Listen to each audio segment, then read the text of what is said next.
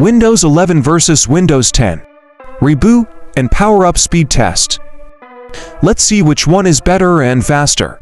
We have two HP X360 Touch and Type laptops here. Both have same hardware specs. Both are Core i5 with 8th generation processor. Both have 16GB RAM and 500GB SSD drive. The one at left is installed with Windows 11. The one at right is loaded with Windows 10. Both laptops are updated to latest security patch by Microsoft. Let's reboot them at the same time and see the results. Which will boot faster?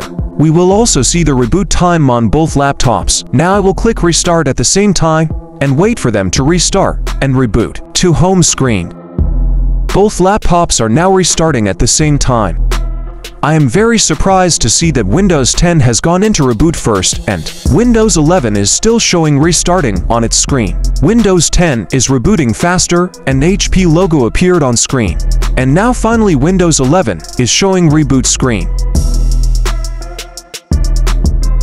Windows 10 seems to winning the reboot tests as it's showing home screen. Windows 11 is still racing behind which is disappointing result.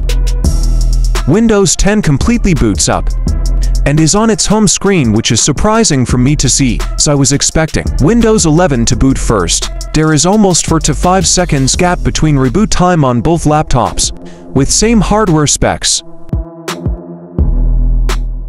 It's not over yet. Let's give this a second chance and see who wins. It's time to boot both laptops at the same time, and let's see which Windows boots up faster turning on both laptops using power button. Again the HP logo appeared first on Windows 10 first, which is now completely boot up to home screen, and poor Windows 11 is still on the HP boot screen logo.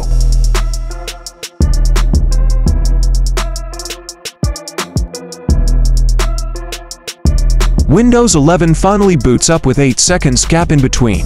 This test shows Windows 10 is still the boss.